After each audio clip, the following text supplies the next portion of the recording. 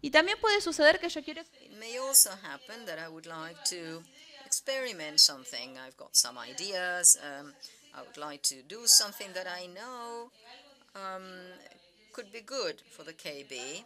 That is, it's going to, you know, it's going to be good, but it's going to be disrupted. It may break something down. So in that case, I would define a version. I would work on that version without uh, disturbing the rest of the development team. And then, if I decide that what I'm developing is good, I would integrate it to, to the to the rest of the team. Perhaps I, I even discard it. I don't know, depending on what I have to do. So these are some of the times when I'm going to define versions. Particularly in the KB I'm describing here in the version of GeneXus server, we can see the versions this application has gone through. We always work with a main development version. We call it trunk. Once, as I said, this application has evolved and uh, we decided to release version 1.0. A freeze of the version was, was made. We went on working. New functionalities were added or new modules were added. Uh, 2. Point, uh, version 2.0 was released and uh, we defined what we call a hot fix or a fixes version, perhaps to correct um, any bug that uh, we wanted to correct in this version.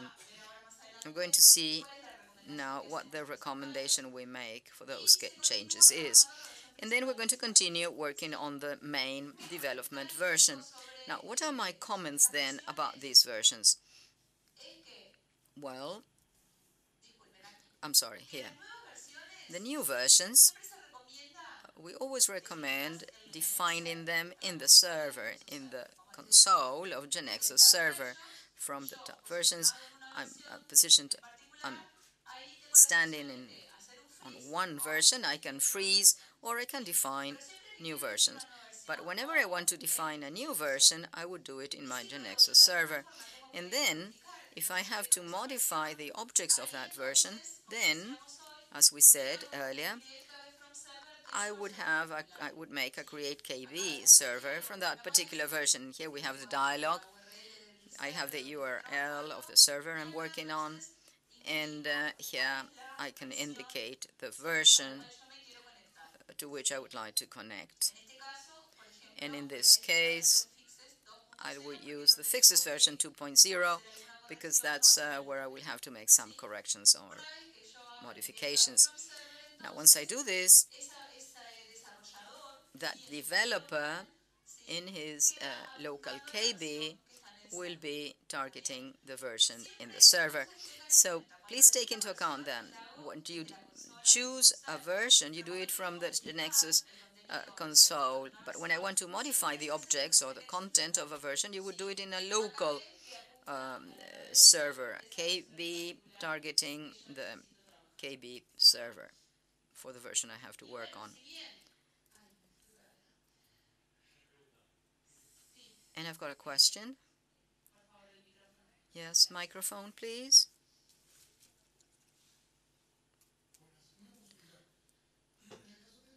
In case the client, because I've got a client, had a case with a relatively big KB before using GeneXus server.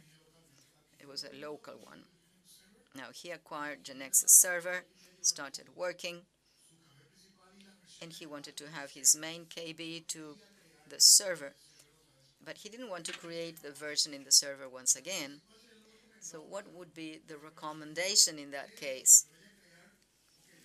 You know, for someone who is using GeneXus server in the main KB, or or do you have to take up all the version? No.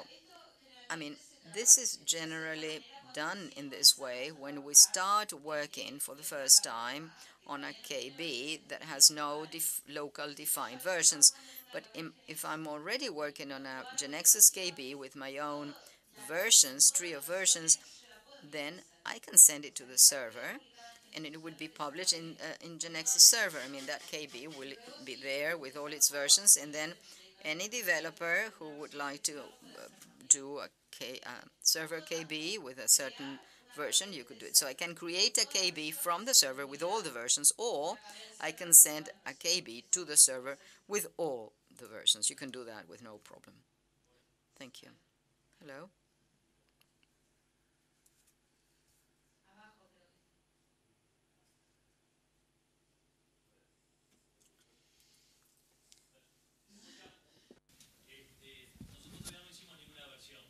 Okay. I'm sorry, he's not using the mic. We are working with the X server, and the users have created the KBs of each one of the developers from the X server. Now, if I create directly a version inside the X server to see, well, this is a version that I have sent to production, the users, the developers, have to create a new KB from that version? Well, nowadays, yes. At the moment, we still don't have the option when you define a version in the server of bringing only that version and that it is added to do the KB the developers already had. This is something we are working on and intend to have in the next upgrades or the next version of GeneXus. We'll see what the development team will have this ready, but this scenario should be available in the future. The option right now is to do a new KB based on the version on which you want to work.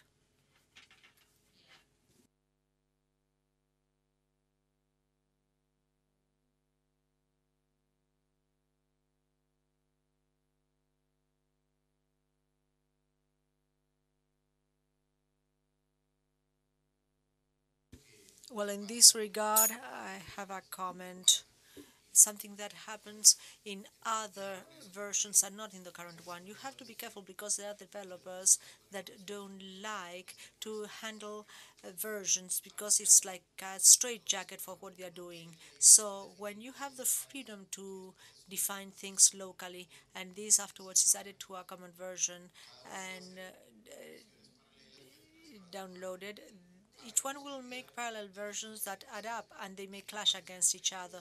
There may be contradictory changes because he had the KB in a way, me, I had it in a different way. They look like uh, new features, but uh, then uh, they mix and I upload what I have. But when the other developer does the same thing, the change I made may be in conflict with the change that he had already made. So the way things function now, this is not possible to do. There was a developer in our case that had a lot of trouble uh, entering this role, and he started to freeze a series of report, and uh, he froze many, changed all of them, didn't make the commit again ever. And when we told him that he had to make the commits, he did everything at the same time. At the same time, and he had his uh, local versions, and uh, for me, at the time, well, we we're not using GeneXus, but for me, it's very good uh, that how we work with GeneXus because I have to download the updated GeneXus first and foremost, and uh, this is the basis. So I don't know what you will do when you have the feature because it would be possible to have conflicts when you have uh, when you introduce the, the future changes. Thank you. I will take this into account, and maybe Gonzalo would like to say something in this regard. But let's clarify that one thing is a version that we add to a KB on which we're working. And a different thing is the conflicts of objects that happens when you want to do commit and the object is modified in the server and first you have to do an update and that's where the conflict arises. This is related to the conflicts that can happen between objects of sa the same version, but here we have uh, different versions. Yes, but I wasn't referring to this. I was referring to a functional conflict. I attacked the problem from a different angle, uh, did two more tables and he saw it in a different way when it became local and now we have four more tables. Some of them are redundant. He is going to do it in one way i'm going to do it in a different way and it's not that there is there the actual conflict. It there is a philosophical problem. Yes, maybe it's a problem of methodology, the way the team works, because if you have to create new transactions, the idea is to create them in one place, then commit, and then update the changes. Yes, but since you say that in the future you can you will be able to mix what you have in the X server, etc. No, that's only when a new version is defined. For all the objects of the KB, you make a new version It's the same thing as defining versions in GeneXus. It's not a version of the object. Fr from the versions of GeneXus, you create a new version of KB. That is why when we talk about versions, it may be a bit confusing. Okay, this is what Gonzalo was going to say. To say. Traductoras.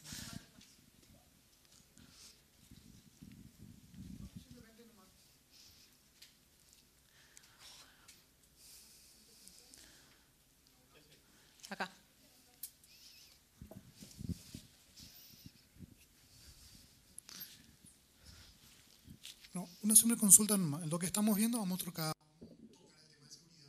Well, we have to talk about security too. Uh, not specifically, but any question you have, we can uh, discuss them here. Uh, yeah, at the end would be fine.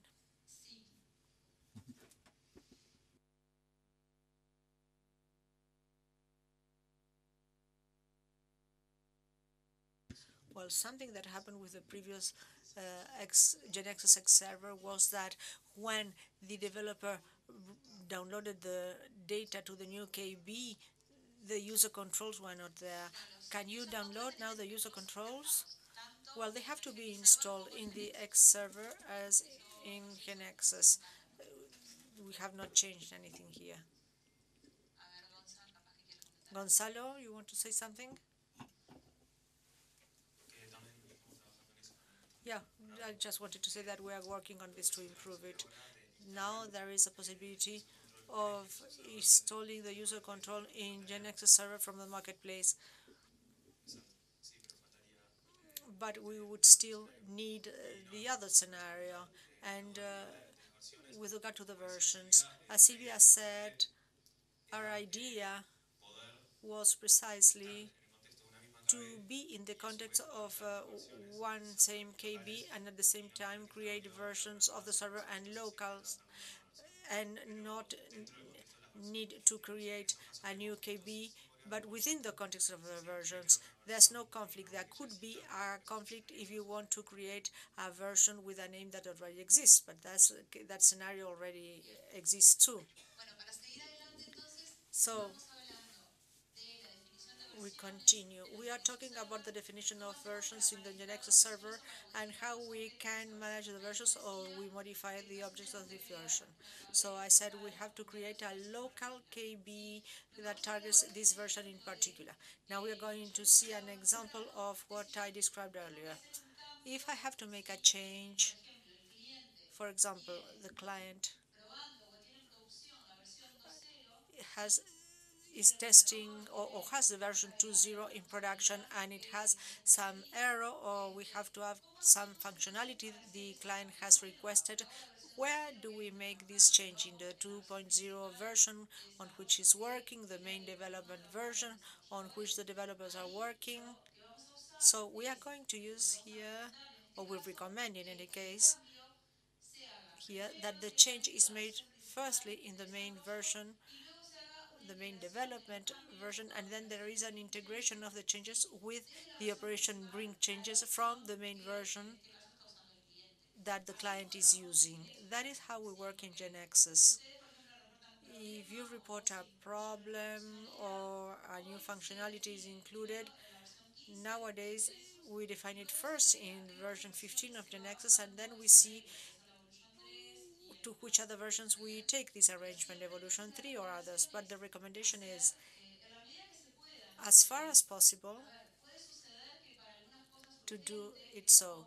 If there's something urgent uh, and we cannot wait to make the change to the other versions, in the other versions, maybe I have to make the change in the version the client is using and then I integrate it in my main development. But in order to avoid conflicts and work orderly, it is recommended to make it in the main version and then integrate the change in the ver other versions as needed. So let's look at an example. The client has asked me to add two attributes to a transaction that he's already using the passenger version in this case, and he wants to add two attributes. So from a KB, which is connected to the main development version, we add these two attributes into the transaction. Once they have been added, I have to commit the object and the new to add the, the two new attributes so that the changes are also in GeneXus server. Then I define from a local KB which uh, targets version 2.0 in this case, which is why I want to integrate the changes from the option team development. If I go to the history, I see all of the changes that were made in that version. And not only the changes of that version, I can also see the changes of any version. If we look at this more in detail, I'm in the window uh, team development of the KB, which uh, points to the 2.0 version, but I want to see the changes made in the main development version. This commit, where we added the two attributes, I want to bring them to the 2.0 version because my client wants it in this particular version version and I don't want the rest of the commits. I want this in particular, this one which is the one my client needs. So I right click bring changes and this shows me in detail the commit, the two attributes that were made, the passenger transaction was modified and this is what I want to integrate in this version when I press this button merge it's a, I have the merge of these objects in the 2.0 version that the client is using. And as we said, of course, this we have in the local KB with which we're working in GeneXus, but we have to send these changes to the server so that they get integrated in the KB in the server. So again, I do commit over the 2.0 version so that the changes are integrated directly in the version that the client is using. So I can do a build of this version since I already have my production environment and I've, I pass these changes to production and these two attributes are now available for the client. If for some reason I wanted to bring all of the changes from one version to the other, I have the possibility of doing bring all changes. In particular, in this case, what I wanted was uh, commit in particular, but if I make changes here, I may want to integrate them to the main version because something may be urgent, for example. So I can do it too. But this option can cause more conflict. I'm doing changes here, and for sure I have changes here because it's my main version and the developers have continued working. So if I do it the other way around, are less possibilities of conflict because in principle in this version we don't make local changes. We just bring the changes from another version. So it's an advantage of doing it in this manner. Another recommendation doing backups. This should not be a recommendation because you should all have your backup policies whereas for the KBs of the developers or of the server. But when we say do backups, what KBs are we talking about? all of the KBs I'm using, well, actually, if we look, uh, if we go back to what we have been saying in the GeneXus server, all of the work is consolidated, and if you follow the recommendations I've said, periodical commits, uh, don't uh, leave too many objects for a commit, I am making sure that all of the work that is ready to go to production, all of the work I have done is in GeneXus server. So it's enough to do a backup of the server's KB. If I have made sure that all the work is consolidated in it. The good recommendation is that although developers know when to do commits, if they do commits periodically, then we will know that all the work will be consolidated here and we do a backup and this solves all of the backups. Now, if for some reason the KB of the computer of a developer is lost, the last thing he changed without a commit will be lost. But let's try to minimize the possibilities of losses. Or if you have policies of committing your local KBs, that would be good. But if we concentrate on consolidating all of the work in the server, then a backup of the server would give us enough confidence. Well, but uh, I'm sorry, we could not hear the question. Uh, we can't hear the comments. Now we are going to speak a little about the test KB.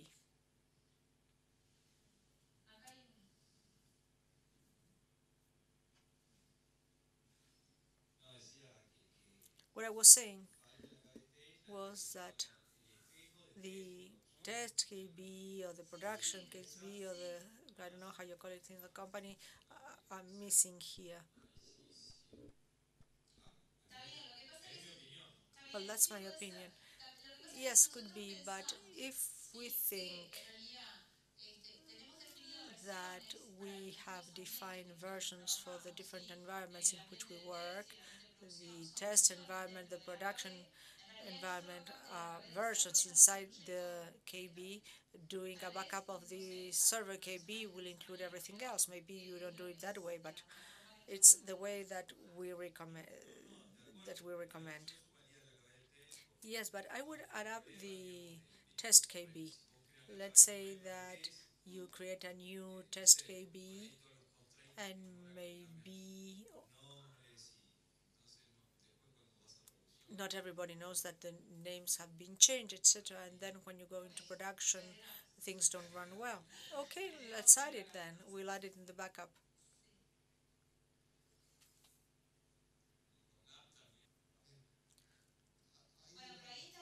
Also with GAM, he said. Yes, but there you are talking of the database of the GAM? No, the KB? Okay, so we do backup with it also. What, what I infer from what Pancho says is the following. I, I well, actually, I don't understand everything he's saying. I have two questions. Firstly, normally, how after the fixing, how do you take it back to the trunk. All of the clients have a fix have fixes because you forgot something, etc. And then you have to go back to the trunk with a series of things, and you downloaded this version and you release the fix to the client, and then you have to do all the rest.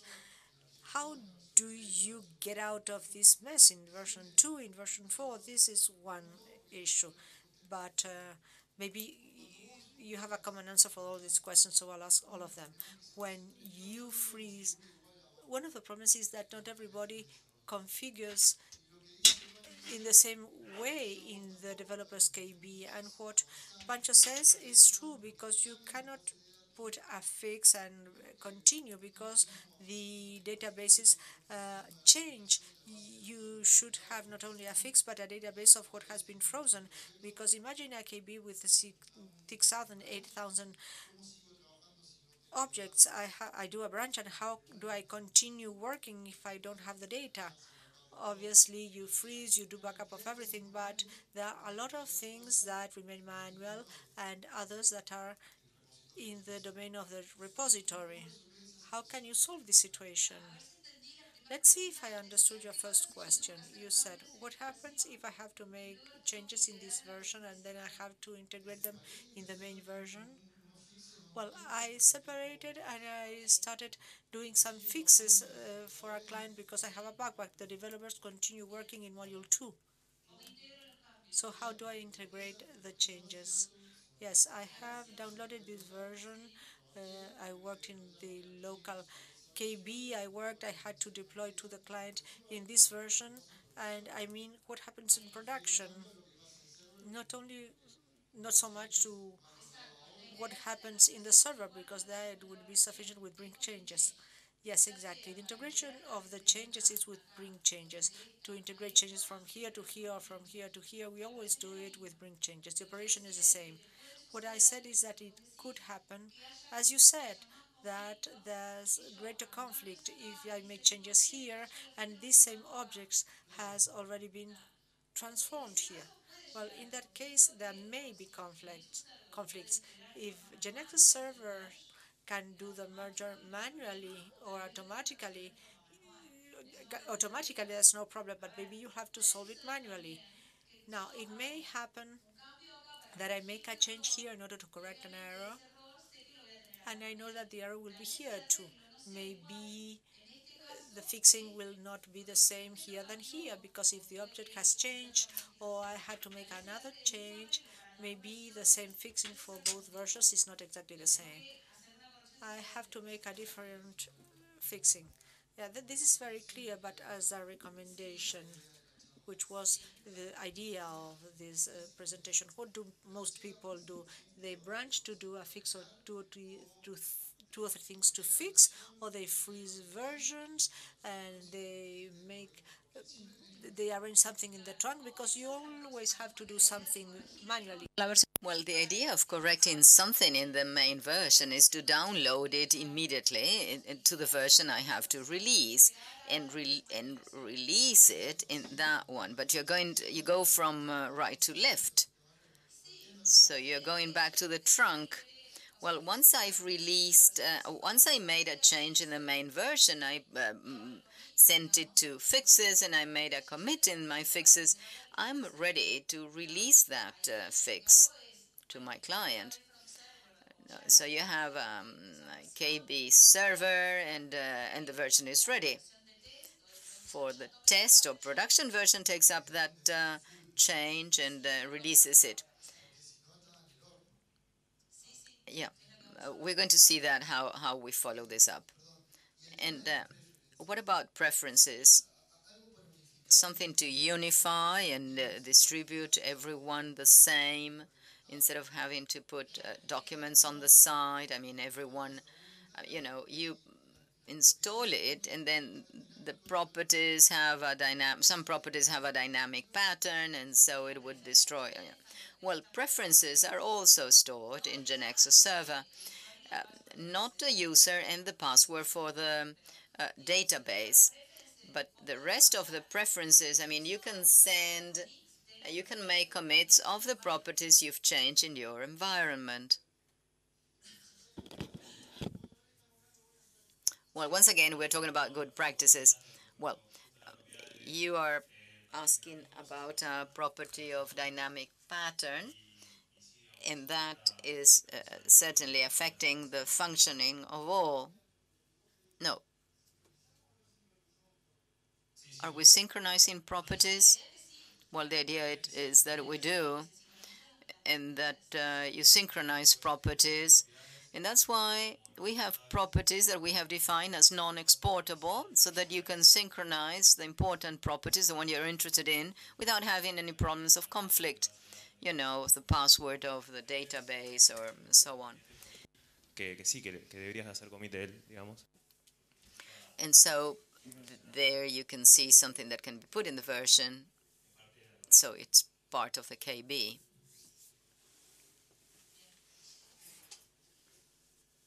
Very well. So we talked about the backup, and uh, then to conclude, uh, what I was saying at the beginning was that um, the recommendation is to use separate uh, working environments. We've been talking about the development of the application in our daily work, the daily work of developers. But now let's look at this KB that you have asked me about.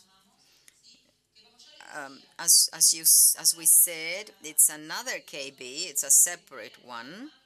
Sometimes it's even created in a different um, machine, and that's the KB when I'm going to where I'm going to synchronize the work of the developers, and on that basis, I'm going to make the deploy pack. Um, I'm going to have it ready for the um, test uh, team to run the scripts or any tests. And uh, it could even put it up on the cloud, you know, so the application is ready for the rest of the team to test it. And then on that basis, the application would be in production. As I said, our recommendation, there is a different characteristic, a different feature uh, and the recommendation is that you only make updates in that KB. What does that mean? Well, it means that there is no sense in making local changes in that KB, because if I make changes in that KB, then there may be more conflicts when I send out those conflicts. Now, if I make updates, I make sure that everything that gets to that KB went through the server, it's traced, you can trace it, you can trace all those objects in GeneXus server. So the ideal thing is to make updates of all the changes required to give to production, and then and to make the deploy, set up a package, uh, have it ready somewhere, take it up to the cloud, mm, run the scripts, or perhaps the test team, uh, the testing team is making its um, manual tests.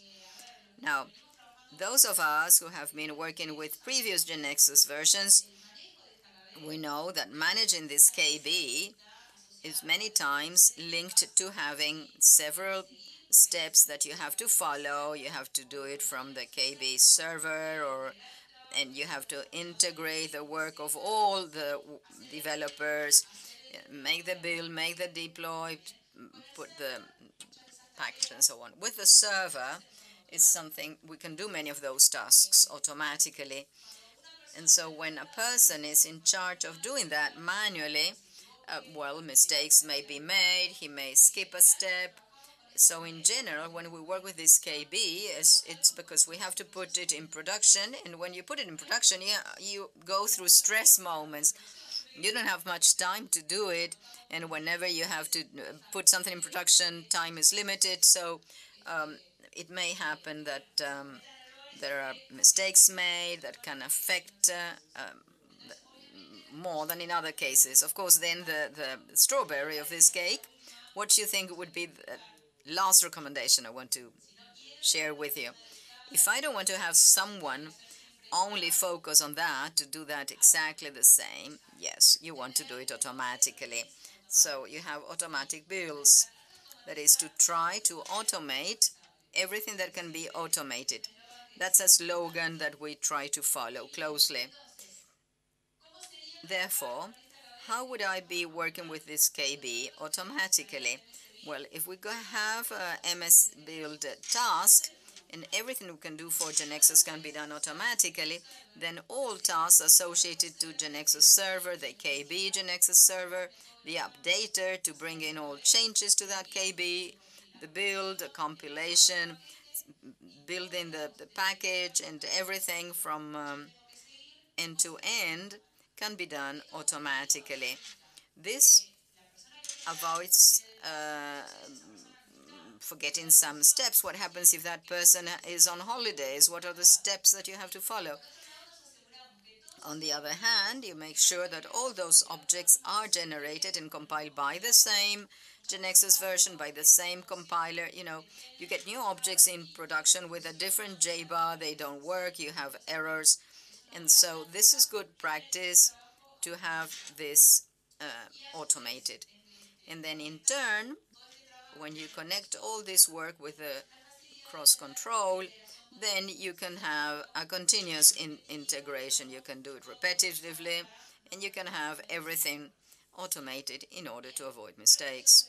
Well, I hope this has been useful. My recommendations have been useful, that you apply them and use them in your daily work, and that you apply GeneXus Server to facilitate your work. I don't know if there are any questions, but this is what I wanted to share with you. So far, so good.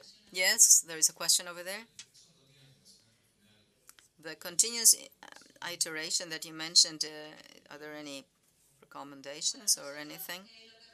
Well, what we recommend is using cruise control because precisely the repositories managed in GeneXus servers can be linked with cruise control and we can use it for um, continuous iteration. Our wiki uh, shows a step-by-step -step thing to be done. Although there are several steps, out of experience, in less than one day, you will keep it working. You have to make some configurations, but it's not something that will take you too long, and it truly facilitates your, your work. Thank you. Gonzalo, would you like to add something? Yes, I would like to add something to your answer. Internally, we use GeneXus server for part of our applications, and we do it in this um, cruise control mechanism. Something that you have to take into account is how often you want to make an update of the KB, and that depends on the frequency with which you make commits. If you do commits very frequently, then you would have to do this more frequently. The golden rule is that if you don't set um, the KB and there is a, an error in the build, you should cut off the KB. Yes, so that it's easier to identify what the commit given a problem was and try to solve it as soon as possible. Thank you. Now, in the case of using Xserver, as, uh, would this be the same? Well, yes, because it's at the level of the local KB that you're configuring all this. So this is an automatic process, but at the end of the day, it's a local KB connected to the KB server and um, would be connecting it. So, yes, it's the same. Very well.